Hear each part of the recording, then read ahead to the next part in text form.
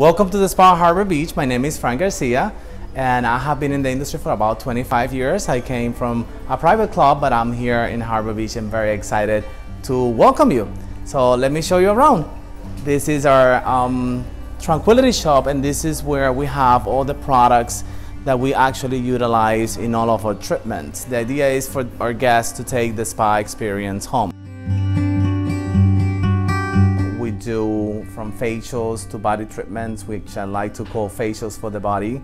Um, just leaving your skin rejuvenated and um, you know all the ingredients are very good for you um, and remember the skin also eats so all these products actually go deep into your skin making it look younger and refreshed so this is where the journey starts. Um, this is our check-in desk and uh, this is where our guests um, actually check in for their services and um, we also have our beautiful sauce scrub bar.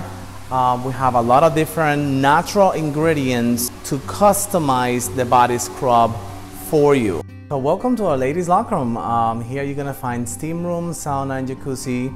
And once you purchase one of our services, you get complimentary access to the entire facilities throughout the day.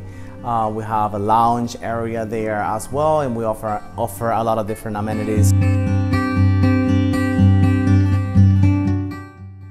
So here we are, this is one of our um, famous body treatments. It's called the Royal Body Treatment, and we're getting ready for one of them. Um, this line is Pure Fiji. It's been um, made um, out of all natural products. After Fiji water, this is the number one seller for them.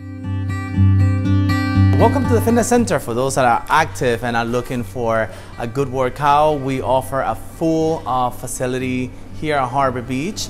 Um, as you can see, we have all the cardio equipment um, and we have a beautiful view for you so you don't feel like you're actually close indoors working out.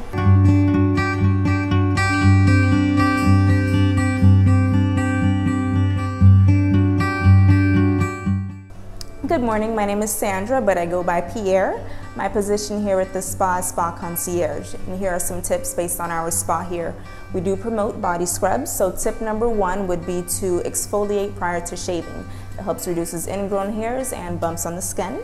Tip number two, for when you are scrubbing in the shower, you want to do your body wash or soap first, exfoliate, and then moisturize.